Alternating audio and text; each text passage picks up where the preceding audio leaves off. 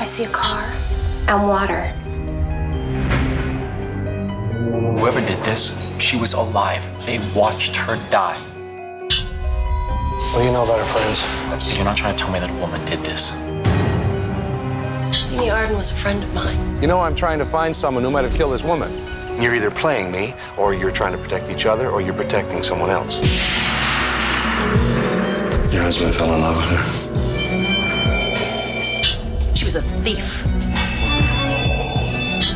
She took my daughter. How do you take away someone's child? Everything that woman has touched is turned to garbage. Maybe these women know something that we don't. Why does the villain always have to be a guy? Does it? Golden Globe and Emmy winner Mary Louise Parker stars in an Oxygen original movie. The Robber Bride premieres Saturday, March 3rd at 8, only on Oxygen.